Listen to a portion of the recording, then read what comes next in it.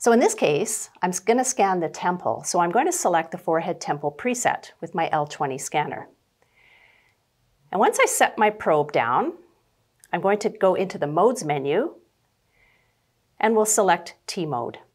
T-mode creates an adjacent image with anatomical layers and graphics displaying the different tissue types. And this is all happening in real time. Now once we freeze the image, we get even more information with text labels over the anatomy, which is super helpful.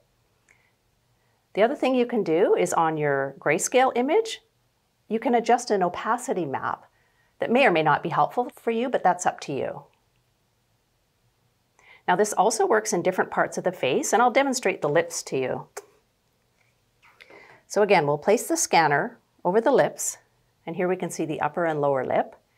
When I enter into T mode, on the right-hand side of the screen, we get these nice graphics that identify the muscle and the subcutaneous tissue. And again, if we're not sure, we just freeze the image and we get labels as well that tell us exactly what we're seeing. So it's kind of like having an anatomy book right before your eyes.